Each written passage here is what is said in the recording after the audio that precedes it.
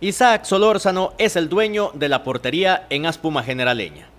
Es el dueño en este campeonato de Liga de Ascenso. Un joven que cada día mejora bajo los tres palos blancos y que demuestra una vez más la capacidad de los jugadores de la zona sur. Es mi trabajo de tapar esos balones y, le doy gracias a Dios y a todos mis compañeros que siempre me están respaldando y al cuerpo técnico que siempre nos ayuda a, seguir adelante, a entrenar de la mejor manera, porque esto no acaba aquí, hay que seguir adelante cada día y, el, y la victoria es de ser campeones. Uno de los más satisfechos es el técnico Edgar Carvajal. Él los puso en la cancha y los jugadores le respondieron. Eh, este torneo está eh, teniendo la, la, posibilidad de jugar y está respondiendo, respondiendo como tiene que ser en los momentos más complicados.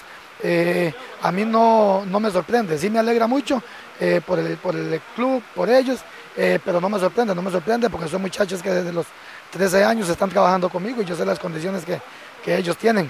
Otro de los aspectos que destaca es que los jóvenes que tienen espuma son de Pérez Celedón. Saber que son muchachos de acá de la zona y que tienen muchas condiciones y que responden a la hora, a la hora buena. El próximo reto de Isaac será detener la ofensiva de Curry Dabat el próximo domingo a las 11 de la mañana.